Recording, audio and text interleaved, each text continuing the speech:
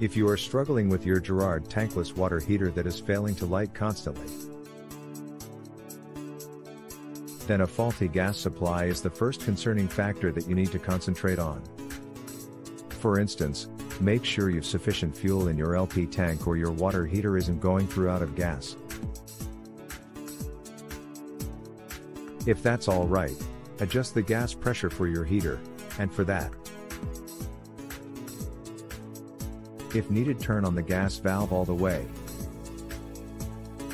Then, reset the unit by turning off the hot water faucets for some time.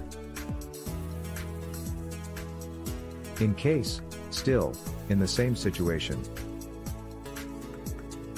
go through the below checklist to troubleshoot the issue.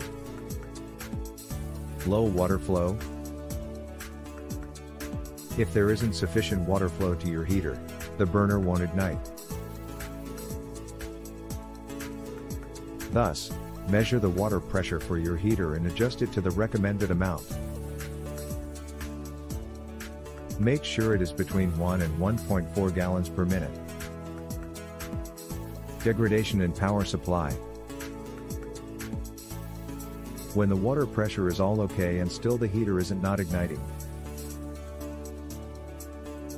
Make sure you're not ignoring to check the power supply for your heater.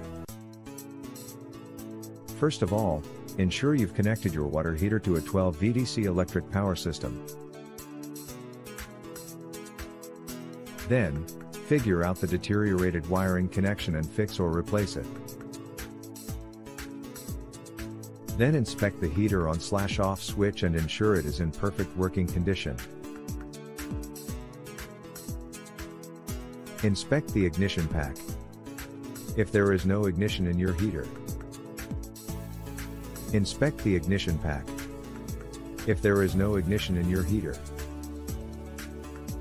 be sure there is some malfunction in your heater's ignition pack. Like the burner orifice might be plugged with soots and debris or the igniter is clogged by carbon or a white substance. If so, simply take a sandpaper and clean out the igniter. Then inspect the burner assembly and clean it out as well using a vacuum cleaner. After doing all the above steps, we are hoping that you'll get your water heater into normal working condition. If not, it's time to head to Professional or Girard Tankless Water Heater Customer Service.